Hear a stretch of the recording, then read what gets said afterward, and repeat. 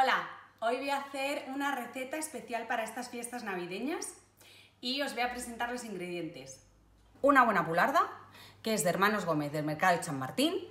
cualquier tipo de mermelada o confitura que tengáis, en este caso la mía es de higos, que me la trajo mi tío de Canarias, un buen caldo de ave para hidratarla, un oloroso que le va a dar así el toque travieso, mezcla de especias, en este caso voy a poner un poquito de laurel, tomillo, un poquito de jengibre, pimienta negra y sal,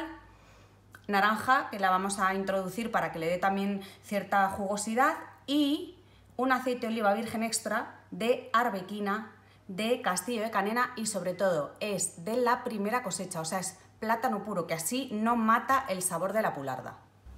¿Cómo la vamos a hacer? Precalentamos el horno a 200 grados, rellenamos la pularda con los ingredientes que os he dicho, que son las especias, la naranja